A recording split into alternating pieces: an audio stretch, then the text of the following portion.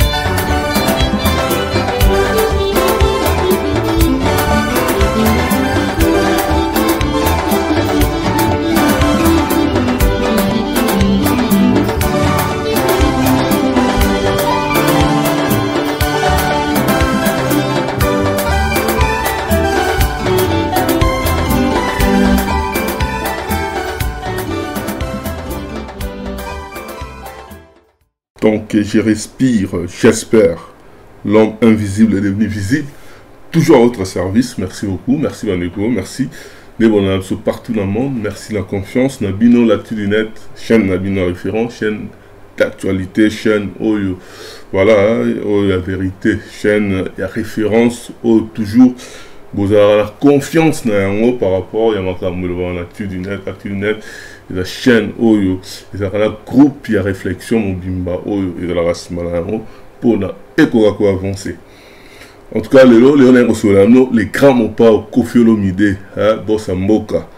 oyo akobeta le 13 février 2021 na new arena na paris la défense arena lelo naye kosolola no bachiffre comment ezo évolue bachiffre le grand mopao ya bavente ya babie na ye comment eza koévolue dernièrement topesaka bino bachiffre oyo kutu ebangisa mokili mobimba parce que eh, moto moko asatandaki na yango te atokisa bino bachiffre ya bacommande ya babiye na ye ndenge na une semaine ekendaki na vitesse moko ya kosakana te en tout cas progression wana ezo continuer hein, progression wana eye continuer donc lelo nakopesa bino euh, bachiffre donc voilà oyo toza na yango par rapport ya bavente ya billet epuis naye kolobela mpe euh, voilà un petit malin oyo aza ko se prendre pour un génie hein, na internet donc euh, oyo akendaki ntango mosusu maroc mpo ayekola mpona azwa mayele ayeba informatique soki nini nayebi te mpona ntango mosusu aservir mpona ntango mosusu babonne cause na ye azoservir na yango mpona bamauvaise fin donc euh, voilà tokoya ko kopesa un peu euh, voilà euh, explication un peu na par rapport ya ba ba, ba, ba trafic d'influence par rapport ya, ya ba, ba piraterie oyo azosala sur euh, bamakambo ebele dernièrement todemaskaki ye todemontraki ke aza un petit voyou oyo aza na internet azali koprofite na nkombo ya artiste euh, mpo na akoka kosala ba n'importe quoi na nkombo na ye en pensant ke aza ko, euh, ko soutenir artiste aza ko, ko, ko kosalaka artiste ake liboso alors kaza kosalir artiste par rapport ya babétise na ye oyo azali kosala euh, na nsima na nkombo ya artiste donc tokoya nango na nsima mais avant tout nakende na makambo ya un petit malin wana oyo azalaka na maroc je crois oyo akomelaki nga na 4 heures du matin lelo mpo na akoka kotindela nga badocument moko boye nakoya nsima par rapport ya yango comme ça tokokoka napesa no baexplication un peu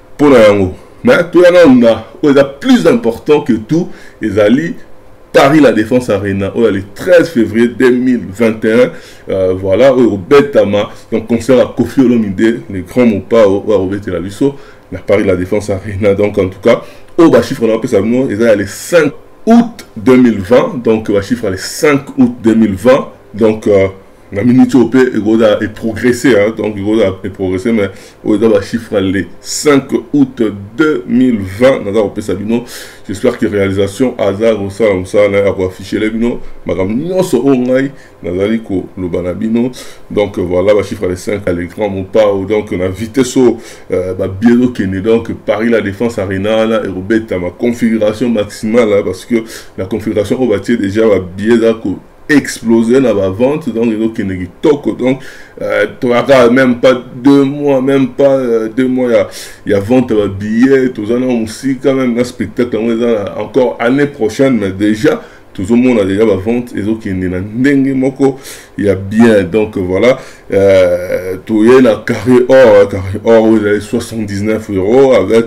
euh, 1127 billets oyo etekami 1127 billets hein, donc euh, na miniti oyo eza te bon grand pa baye bakobakisa lisusu euh, babillet mosusu na carré or pour l'instant donc yango wana oyo etekami na miniti oyo donc 1127 billets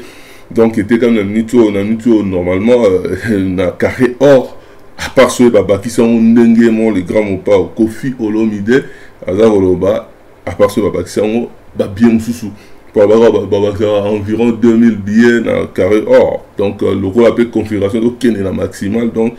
ekozala possible donc voilà toye na fausse fausse or fausse or oyo eza na 72 euros fausse or na 72 euros oyo ezalaki 6246 places na miniti oyo etekami 5914 donc 5914 billets etekami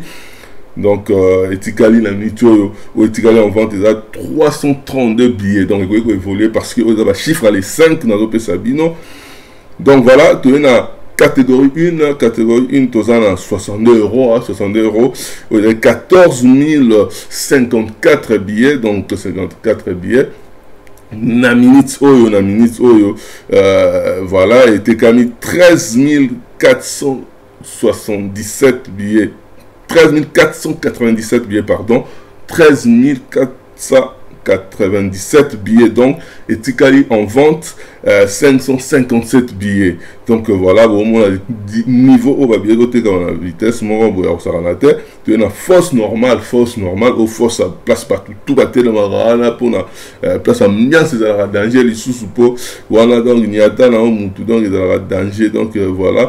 force eza na 50 euros 50 euros epuis baprix ya billet bino bozoka baprix ya billet ebani ba 79 euros 72 euros 62 euros 50 euros na force 50 euros eza na 9800 place 9800 place na miniti oyo etekali etekami 2260 place donc oyo etikali etikali 7543 place donc euh, na force nde baplace eza nano ebele oyo bato baprécipité ya bazwa baplace parce que bato balingi baparticipe na événement wana eriske soki ozali euh, na biye te okomona yango te donc ekozala temps mosusu mpo na yo parce que ndenge moko azoloba eza concerne ya vie ntango mosusu mpe kozala mpe parmi baconcerne ya minene ya suka donc oyo aza na mposa akende concert wana donc ase précipité mpona akoka koluka euh, babillet na minute oyo wana bokoki kozwa ngo na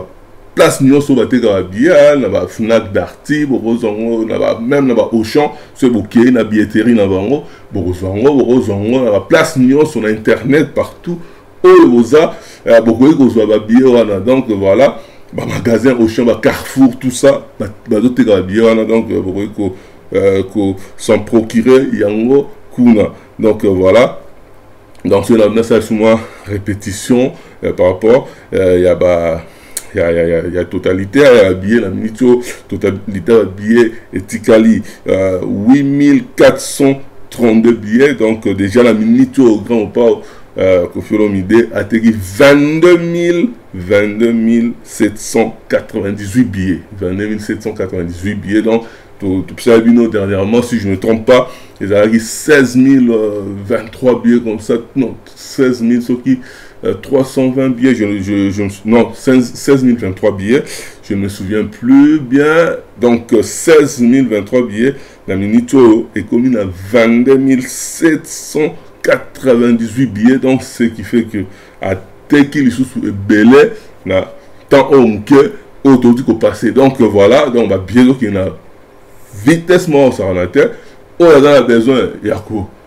euh, participer na concert wana donc euh, heure yango il faut kozwa babillet parce que etikali babillet etikali ebele te babillet etikali en gros 8432 billet mais ti topusana ta mosusu euh, voilà ti concert yango euh, bakobakisa lisusu euh, babillet mais pour l'instant mpona kozala sur que oza na concert wana heure yango oyo okoki kozwa billet na yo donc voilà toye na carridor eza na 79 euro oyo na minute oyo eza nanu lisusu disponible te toye na fausse or eza na 72 euro euh, oyo etikali quand même 332 billets toye na catégorie 1 eza na euh, 62 euro euh, voilà oyo etikali euh, 557 billets et puis toye na fausse oyo eza na 50 euro oyo etikali 7543 billets donc wana babillets eza okoki kozwa moto alingaka kovibre fausse ba billets eza nanu donc bobenda benda parce que na minute oyo soki oza koreve okoya kozala ntango mosusu na retard mpo na ba billets donc voilà l'information par rapport à évolution ya ba billets ya le grand mopao kofi olomide donc euh, yango wana donc voilà oyo eza bachiffre nde nazoloba ya le 5 août 2020 oyo toti kopesa bino donc euh, donc euh, salle déjà donc ekomi ko babillets ekomi kosila quoi donc 8432 billets oyo etikali donc 22700 euh, 22798 billets etekami donc voilà sikoyo naye nanu vite fait na, il faut pas nazwela yango temps ebele mpo na babetise ya mwa jeune moko boye oyo azalaka nasi na maroc akomela ye ngai na numero na ye tout ça mpo na atindela ngai badocument moko boye oyo donc euh,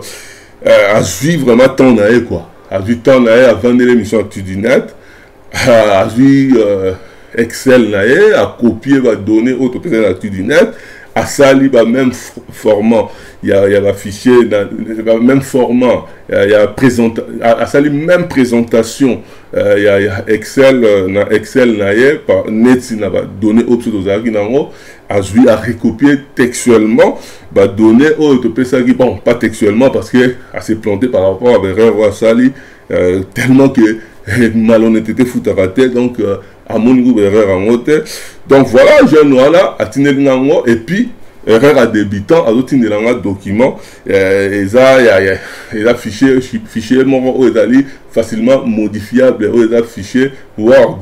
donc euh, fichier fichier word euh, donc voilà oyo oh, bakomodifie alors que bafichier banini tout oyo eza certifie batindaka jamais fichier word parce que eza na facilité motu amodifie élément donc bakotindela yo pdf donc euh, ye atindeli nga déjà document word oyo oh, ye asali copie oyo oh, ye atie en place donc voilà et puis voilà toyebi ke bon malgré que pdf mpe soki oza na adobe pro okoki mpe komodifie mais voilà euh, adobe pro mpe epesameli mutu nyonso te donc eza ezalaka trop cher donc voilà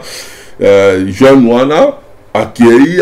donc ye mpo na mposa na ye eza kefali azwa disque d'or ye azopense ke kozwa disque d'or il faut kokosa makambo totelemela ya makambo loko ya lokuta me ye azokontinue kaka na lokuta deja jean aya torecadraki ye na balokuta na ye amodifiaki bapage ya fali atiaki banini na lokuta tout ça eh, na page ya fali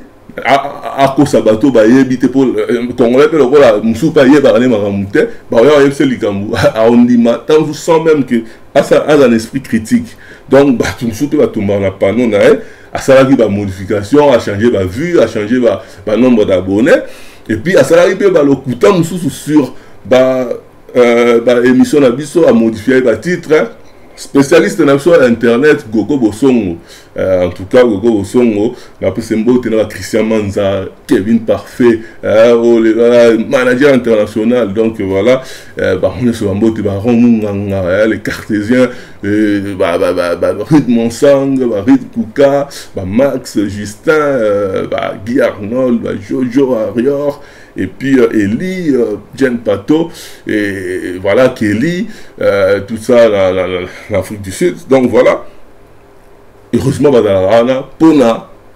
kotravaille mpo na tu du net donc voilà azwaki nani na biso technicien na biso euh, gogo oyo ya informatique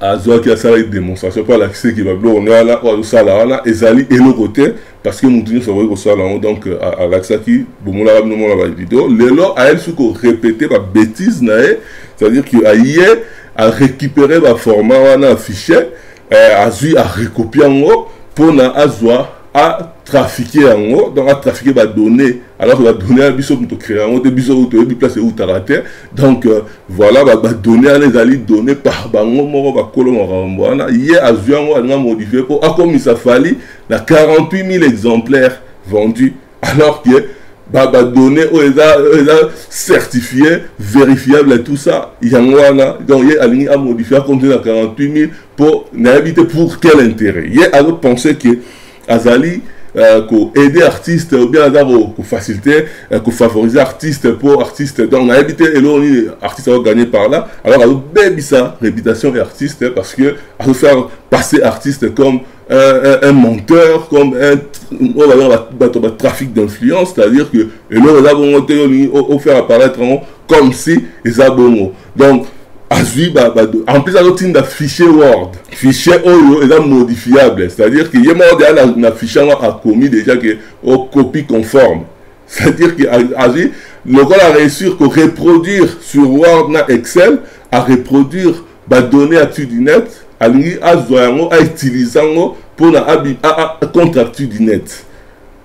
donc mwana wana akendaki maroc mpona koyekola ntango mosusu mpona aide baparent na ye mais akomi kuna akomi na ye brigand c'est-à-dire ke kosalaka biloko moko azalama brigand na niveau internet kosalaka bétise moko boye nayebi te pour quelle raison et na toyebi ke na maroc hein, maroc kuna mpe bato ebele bavivaka na basystème wana ya kosala kotafike bato nga bango nazala victime basombela carte ble na nga billet na maroc heureusement baassurance ya babanke ezalaka tout ça baremboursa ndenge basombela billet na maroc na carte na nga na comprena te donc sikoyo aza parmi neti bato ya bongo mpo bamarocain bazala makasi na informatique donc soki oyekoli na bango bakoyekolisa yango mais ye sikoyo azwi yango mpo aservir eh, na, na, na nini wana aservir na mayele bapesi ye me na ndenge mabe sikoyo azoyeba te ke ere ya osala buzoba ne ekoimpacte nde artiste parce que bakomona nde artiste baza mibenga mpe warrior donc ye nde sikoyo bako ekobanda nde koimpacte sur artiste po artiste hein, bakoreproche eke aza aza lokuta bakoreproche eke aza moto ya trafic d'influence parce que ye azwa bafichier wana ake komodifie mpo akomisa yango 48 000 exemplaires alors que en, eh, en réalité eza bongo te sikoyo kasi soki okomisa meme 50 komisa yango meme 50 lelo yo kino ozwa disque dor na, na, na nini na, na, na, na, na snap Quel est le disque dans la snap Bon, de retarder, ma trotter, non, relever moi de trois points morts par rapport à ma bluronnée. Oh, la salle dans, bon, mon ara, des informaticiens, la biseau. Euh, gogo bosongo asali biso mwa euh, baimage oyo tout ça botala bien document ne copie conforme wana na badocument ya biso oyo ngai nayebi te place nini eh, esalamaka donc voilà botala baerreur sikoyo asali hmm? baerreur oyo ya badebutant asali déjà premièrement auti na fichier nde naloba word wana et puis deuxièmement asali baerreur baerreur euh, euh, voilà par exemple bokozwa na fichier na biso original oyo ya ya ya oyo vraiment certifié hein, fichier certifié oyo ya ya oyo eza certifié donc verifiable oyo mpe artiste akoki meme kokende komonana yango euh, snap akoki meme koporte plainte soki ezali ya lokuta donc euh, voilà fichier wana eh, ye soki areproduire yango mais abosani makambo c'est-à-dire ke neti na nzembo mannequin par exemple mannequin areproduire fichier oyo biso topesaki bino badonne na biso areproduire yango mais abosani kosala euh, parenthèse koferme parenthèse na suka donc abosani ko, ko fermer parenthèse donc voilà déjà ta berera omoni moto ya mabe efutaka te donc voilà oke osala meme na baconnerie oyo ozo remarke te et puis aye na nzembo oyo nalingi ye oyo ya fit ya mhd na nani na na na fali ipupa donc voilà azwi na na ouvre la parenthèse na eh, place bakoma fit euh, donc mhd asali déjà espace na fit donc na ouvre la parenthèse alors que déjà basalaka espace te na, na parenthèse hein, soki euh, voilà nayebi te pourquoi azosala espace na parenthèse wana po aganye nini nayebi te euh, voilà et puis aye lisusu na bétise na ye mosusu na total ya vente total ya vente bakomi bien affiché original total vente mais ye lokola motema mabe il fallait babimisa yango na poisa total vente elongo total vente ekomi total de vente donc ye akomi total de vente donc mpona komona kaka donc asali babiloko mais eh, berreur comme toujours mutu azosala makambo na baintention mabe nzambe aconfondre asali baerreur moko boye mpo ah, moyen ah, bandima ekozala te na lokuta na yo donc nzambe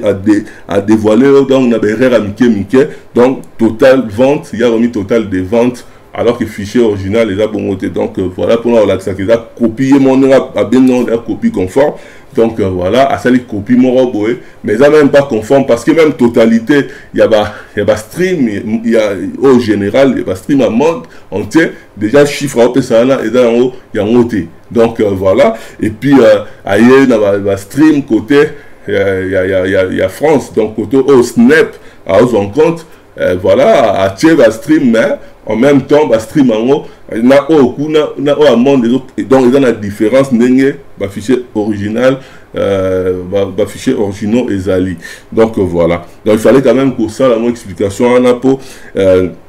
azo penser d'azo soutenir artiste hein, ye mpo na ye ndenge asala bongo ezobimisa fali danger tout ça alors que ezobimisa nde lokuta eyebimisa ye nde euh, voilà ata baforcaka disque d'or disque d'or ezo progresse bien bavente ezo progresse bien zala na patience ekokoma soki disque d'or ekomi motu moko okangama aza te motu moko okangama aza te donc yo nayebi te yo mwana moke na age oyo nazo comprendre te ovandi na maroc kuna oyo se débrouiller oluka ata moso osilisa classe na yo mpo na olingi batala yo na youtube obandi kosala ba trafic d'influence moko ya lokuta osala ndenge bareputa bato bazala na maroc bazala bato ya bamagouille tout ça donc ozwa omodifie bafichier lokola oyebi mwa informatique donc mayele na yo e, eza kaka na mabe sala biloko ya malamu na mayele na yo oyo ya informatique oyebi wana ke oyo akosala baconnerie na internet mpo ozoluka bato batala yo sikoyo bato mpe baza na bango bainsense oyo mpe ntango mosusu baza na bango mpe eh, baaverti te na makambo yango eh, bakokwea mpe na nini na ye mpe bandimi ye mpe babetele maboko alors loka mpe kongo nalingana ne buzoba eh, donc akobetele mpe maboko omona mpe netige bango mobetele maboko ah, eza vrai tout ça alors que un, un, un bandit ya internet un bandit ya internet un, un jeune oyo apprendre informatique mais mpo asala yango oyo asala yango na babonne fin ye azosala yango na bamauvaise fin donc azosalaki banditisme na internet azodétruire nde image artiste donc bato oyo bayebi ye mpo boyebi ye boyebi ye bozalaka na bagroupe na bino soki azo continue boye azo nuire nde na artiste na bino soki bokanisa bobeta ye maboko ke asala bien etali bino donc ere bato bakoya koreplike babando ya nde kosencharge na artiste na bino mpo babando oyebisi eke non ye nde aza lokuta ye nde asali boye alors ke mwana na osala makambo na ndenge na ye mais lokola boyebi ye fo botelemela ye se botika ye bongo etali bino mokolo asala betise moko boye bato bakoya kosan charge na yango ekozala na baconséquence ekozala oyo babenga ba dommage collatéraux donc voilà wana etali etali sikoyo motu te donc euh, il faut bobenda mwana na bino wana matoi atika bazoba na ye mpo azodiscrédite artiste na bino azobimisa ye lokuta azobimisa ye euh, moto ya trafic d'influence parce que disque d'or donc na 3000 oyo etikali wana soki eyokami eyokami de toute façon information ntango soki boyebi te disque d'or par rapport à loi eza nango na délai te eza nango na délai te ki oyo soki asali dans 10 ans ekozala lisusu disque d'or te non ata ku dans 20 ans soki aza na bapreuve baverifie yango snef averifie aremonte bamakambo tout soki c'est bon ata ko 20 ans bakopesa disque d'or na ye donc bo s'inquiéter na bino to ndire eza na dele moko boye oyo oh, bino ozobanga ke soki dele wana eleki donc c'est fini soki dele wana eleki c'est fini non dele eza te donc disque d'or botikali na 3000 soki boyo écouter boyo télécharger tout ça ekokoma nango donc bozala nanu na patience mwana wana ya, ya maroc wana aemmerde ah, ah, bino te na babuzoba na otya badésordre ale bobenge warrior bobetele maboko soki tokomoconsidere ke bawarrior nyonso baa bongo donc eza secte ya lokuta ekozala mabe donc secte mwa bato mwa bavandaka bazoimagine makambo na ndenge afo bolatisa sikoyo titre wana nani bolatisa yango motu na bino bolatisa yango lider na bino ye nde akokoma neti moto ya lokuta ye moto akokoma neti motu ah donc babiloko wana nyonso ye moto aa neti na nsima na yango non donc ya bato aza nsima yango te me lokola boyebi ye bino bato oyo ntango mosusu ye aza na temps te me bino bato oyo bozala tout otourne boyebi mwana wana bobende matoi parce que prochainement so asali suka biloko ya boye toya koreplikele nde artiste parce que ye nde mokolo makambo wana parce que atika balokuta na ye asala mwana wana asala soki akosalela ye promotion soki nini asalela ye mais atika ba n'importe quoi oyo azolinga amemela biso na makambo ya miziki tolingi makambo ya lokuta te lokuta tolingi yango te donc toboyi lokuta donc voilà soki akontinue boye voilà déjà asala ba faux compte euh, asala ba faux compte ebele mwana wana et puis euh, eza en plus un gamin moko donc namoni te même soki akomeli yo ozomona ba gamin vraiment azala nayebi te soki aza na age nini nayebi te soki aza na age nini en tout cas nasalaki mwa mpo wana mpo buzoba wana prochainement toya vraimen na ndenge mosusu parce que euh, ekoma olekisa donc prochainement toya na ndenge mosusu donc voilà en tout cas merci à jean m merci euh, na mosala kitoko merci gogo bosongo euh, merci euh, na groupe ya réflexion mobimactu du net euh, voilà donc euh, et puis na babosana te vie nanga félix madada bamoto ebele na belgique et puis euh, francisco mangala tout seigneur tout honneur hein? papa tasopeta bambote ebele euh, voilà bato nyonso oyo balingaka actu du net donc bozala nango kimia actu du net awa baresponsable donc abu ah, bajete akutu ah, bajete parce que awa soki eza makambo ya verité toloba verité tokoya komanke mutu te tokoya koinsulte mutu te me tokoloba verité awa active nani bakosaka te donc moya kokosa awa eza te parce que soki okosi awa biso tokolinga yango te tokolinga yango te yo luka ba stratégie na yo ndenge mosusu bimisa mibimisa danger me kokosa nde biso te na oyo yo kokosa biso tokolingana biso yango te donc mpo ozala na biso ntango mosusu bato mosusu bakovanda na biso te parce que biso tokoki tokozala no bien toza ba pire mais en même temps toyebi ke voilà vérité biso tokoki kolongola tokoki kolongola vérité na rai te donc vérité biso tokotikaka toujours na rai parce que ela très très importante parce que rattrapaka toujours motu donc euh, voilà en tout cas botika malamu euh, ba bato nyonso oyo nabosani donc euh, euh, voilà ba pati tsosa ba chikose bamfumu ya tatiana kita ba euh, bishop sule diatete ba bato tout oyo euh, basuki ebokama la cadette ba euh, bato tout bambote na bino place boza jean paul kilombo bientôt tozwa baanalyse na ye donc tokutana la prochaine donc euh, mpo na bimisio mosusu merci vous êtes ici donc euh, dans les sièges de Africa Food World SPRL, une entreprise euh, privée qui a été créée donc par votre serviteur que je suis, donc Hilaire Mokoyi Danja,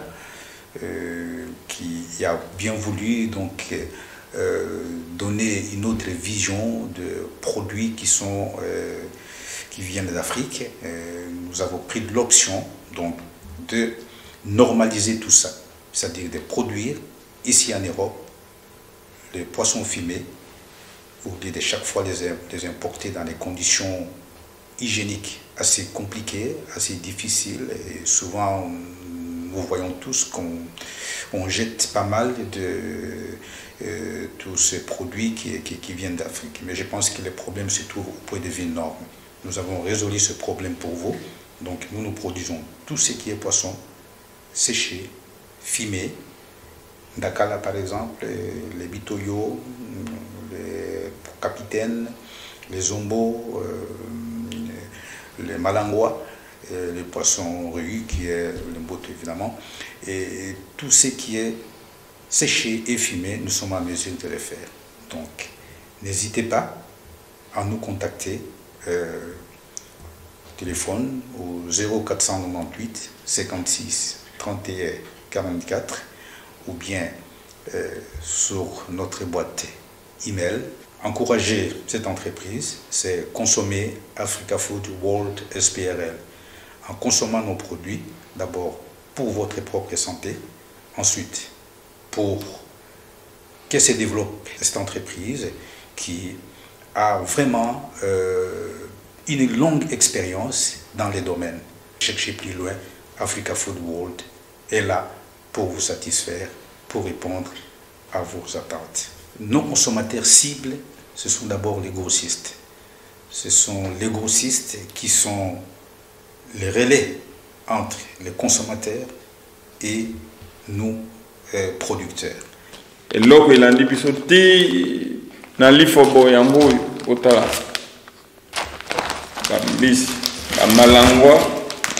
yango oyo oyo oyo babengi ndakala Franchement, euh, chère communauté, première fois, première fois, dans la communauté, na biso, tout le monde a exploit ya boye. To misala ki mingi ko kende pas ya chinois, et pas ya indien, azo les sapso bloka mboka na biso. Et lelo un congolais, un congolais pur, azui makambo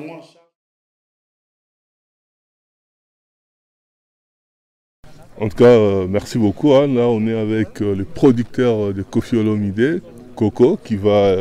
nous donner un peu son avis par rapport au concert de Kofi Olomide du 13 février 2021 qui va se dérouler à Paris La Défense Arena. Donc je voulais savoir, euh,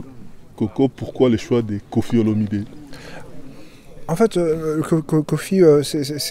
pour moi, c'est l'histoire de Kofi qui m'intéressait, etc. Kofi n'avait pas chanté en France depuis plus d'une dizaine d'années. Et effectivement, on m'a fait l'offre de organiser ce spectacle, de produire ce spectacle. Et le pari, c'était pas de refaire un Zénith ou pas de refaire un Bercy, c'était-à-dire si on doit faire une date et le retour de Kofi Olumide, c'est dans la plus grande salle d'Europe. Et on a choisi, euh, mais tous les deux, on a choisi ce, beau, ce beau Paris La Défense. Et voilà. Et maintenant, le 13 février, le samedi 13 février, la veille de la Saint-Valentin, et eh ben on va faire un concert emblématique. La salle sera pleine et on va faire une grande, grande fête tous ensemble. En tout cas, vous n'avez pas hésité à euh, un moment parce que c'est une grande salle quand même. Quand on regarde cette salle, euh, c'est impressionnant. Donc, je ne sais pas, vous n'avez pas hésité quand vous avez vu l'artiste Kofi Olomide qui jouait dans une salle où il y a Céline Dion qui joue euh, euh, habituellement. En fait, euh, on va jouer, on va, on va, réouvrir la saison 2021 en fait. Hein. ce sera, sera effectivement Kofi qui va réouvrir la salle après bah, la pandémie que l'on connaît, dans laquelle on est en train de vivre, dans laquelle on vit. Et derrière, en fait, il va y avoir, je crois, Clapton et beaucoup d'autres artistes. Et Rolling Stone, je pense que c'est effectivement, cette taille est à la taille vraiment, la dimension de l'artiste. Et je pense sincèrement que l'artiste a, son public ici en Europe et je pense que... Non, je me suis jamais posé la question. Je pense que c'est l'endroit et la salle idéale pour le retour de Kofi. Et vous rassurez euh, les, mélomanes de la musique, hein, les fanatiques de Kofi Olomide, par rapport euh, voilà, à l'épidémie qu'on vient de parler, euh, Covid-19. Est-ce que jusqu'au mois de février, normalement, ça doit être bon mais en fait, je ne me pose pas la question. Je, pense que c'est c'est une chance de, pouvoir euh, avoir contracté avec Kofi. Je pense qu'il faut que la vie, euh, la vie, on doit être plein d'espoir. Euh, il ne faut pas, il va falloir qu'on apprenne aussi, peut-être certainement, à vivre avec ce virus. on apprend à vivre avec X virus. En Asie, ils vivent avec des masques, etc. Depuis des décennies, des décennies. Aujourd'hui, on ne peut pas s'arrêter de vivre sans musique. On ne peut pas s'arrêter de vivre sans culture. Donc, c'est notre devoir, moi, d'entrepreneur, et le devoir de Kofi de présenter un show mémorable ce 13 février. Je pense que c'est vraiment le feu vert, je pense que c'est une lueur d'espoir. Il faut absolument qu'on se produise quoi qu'il arrive. Et tant qu'on ne nous l'interdit pas, on jouera. Est-ce que là, Kofi Ondé, c'est un artiste qui est voilà, exigeant Est-ce que vous pensez déjà à son... Parce que lui, il dit bien, c'est pas son entrée, mais son arrivée à, à Paris La Défense Arena. Est-ce que vous vous projetez déjà ce que vous pouvez réaliser avec Kofi Olomide par rapport à son entrée, euh, par rapport à son arrivée à Paris La Défense Arena Quelle journée aujourd'hui On est fin juillet. Oui, on est le 20. Je pense que nous, effectivement, l'entrée en scène de notre artiste préféré est déjà bien orchestrée et déjà bien en tête. En tout, cas. en tout cas. merci beaucoup de nous avoir donné quelques mots parce que vous êtes les producteurs. C'était vraiment très important qu'on puisse avoir, euh, qu'on puisse avoir votre avis. vous savez, euh, sincèrement, il, faut, quelqu'un qui s'engage. Il faut, il faut être un tout petit peu audacieux. Est-ce que c'est audacieux de de, de, produire un concert de coffee? Non, je crois pas. Il faut juste euh, y croire. Il faut, croire que faut apprendre. Je vous dis à vivre avec le virus, mais en tout cas, tant qu'on ne nous l'interdira pas, on jouera.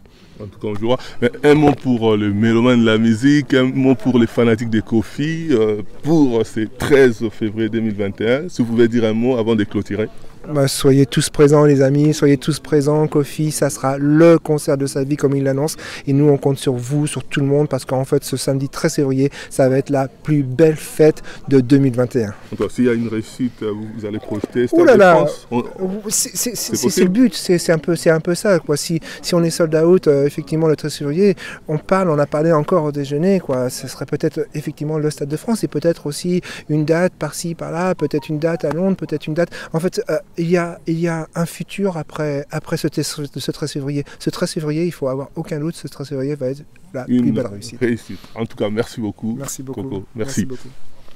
tala cadre kitoko oyo esengeli yo se détendre na baweekend oyo yango oyo shejongade shejongade batieli bino bilubu ya kitoko c'est-à-dire awa ambiance ezali kolala ya malonga na ndenge ya deux fois te mpo bazali kotumba ntaba ya elengi makasi, ngulu oyo yo okosepela na yango, mpe poulet na ndenge ya deux fois te, ndenge kaka bozali komona ezali kotumbama na kwanga ya banteke mpe na eloko ya malili ekosala likambo na kati ya nzoto. Kasi chez Djonga 2, ezali kofongama kaka chaque week-end, c'est-à-dire vendredi à partir ya 16h ti 5h. Samedi à partir ya 12h ti 5h. Pe dimanche de 12h à 3h du matin. Ba bosani bino te tango oye chez Djonga de okosepela parce que oza kolia ntaba, oza kolia ngulu, oza kolia poulet na miziki ya elengi. Lokola mokolo ya vendredi bobanda kozwa artiste lokola suzuki luzubu 4 x 4 ye moto abanda kobeta vraiment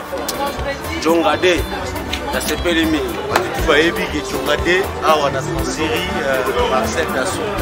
ondi non loin ya, ya gare mosika te mpe mokolo ya samedi bokozwa les amis des amis bango nde bakosepelisa bino na barumba ya kitoko Pe mokolo ya dimanche bokozwa Emeli alias de Mingongo, ye nde mutu abanda kobuka bino panzi na ba danse ya elengi. Po na bino batu oyo bozali na posa ya ko feter anniversaire, mariage to ceremonie moko boye, bokoki kobenga na numero oyo, plus 33 63 54 75 181 chez jonga de awa soki oye okozwa service ya kitoko mpe ya malonga mpo ambiance ezali kolala nde awa se naturel o soin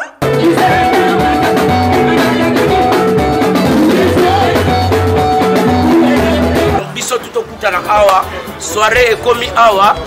donc euh, moto akangi paris eza jonga mingi akoloba eza te eh, roi david l'homme qui a tué goliath mais c'est jaja eh, voilà quoi oh jaja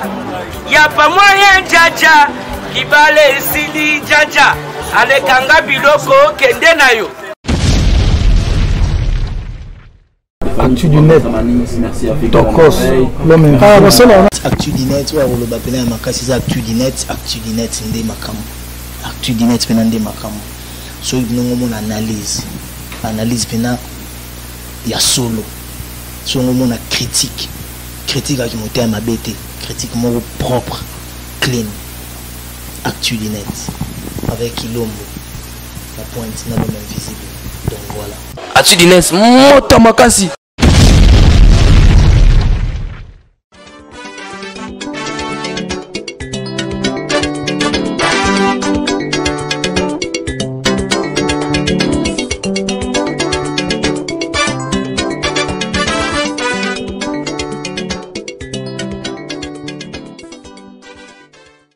Toujours en connexion. Partie du net. Toujours en connexion. omoni ba martin sali wana to bavandaka nyonso oyo naoloba bayebi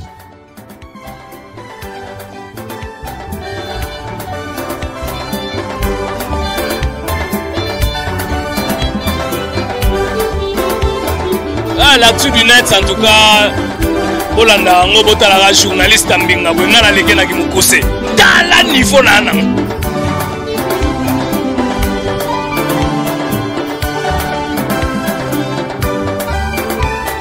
donc ntango ye adetekte ke bamosusu baza dans le faux ye fo approche bango L'actu du net. Actu du net. bolandaka information ya makasi bino deja yo deja actu du net fin cop c'est-à-dire kibomata bokita baa na bino mayele bofinga botonga bokomante kaka actu du net number one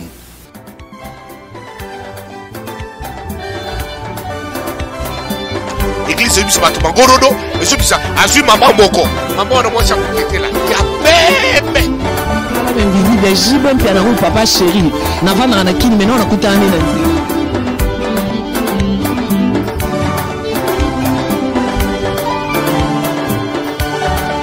me poto eza neti kondokela te lamba bato bayebaka te